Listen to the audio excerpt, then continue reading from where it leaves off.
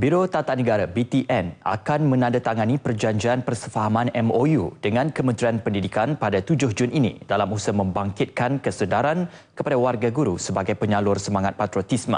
Menteri di Jabatan Perdana Menteri Datuk Seri Azalina Osman Said berkata, golongan pendidik di negara ini merupakan ejen perubahan yang berperanan membawa semangat negara bangsa ke dalam diri pelajar.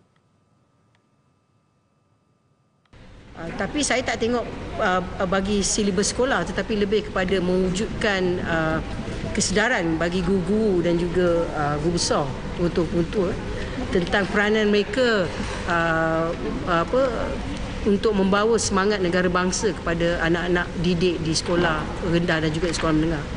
Jadi kita akan buat uh, satu MOU akan ditandatangani antara uh, ketua pengarah pelajaran dengan ketua pengarah BTN. Uh, tujuh hari bulan Jun kan disaksikan oleh menteri saya dan Datuk Seri Mahathir Khalid lah.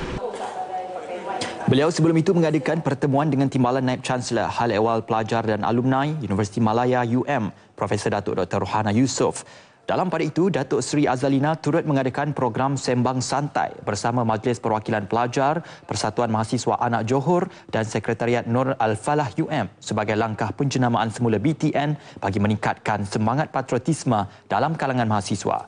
BTN akan turut memperkenalkan satu lagi program pertandingan dinamakan Festival My Patriot 2016 untuk mahasiswa IPTA dan IPTS.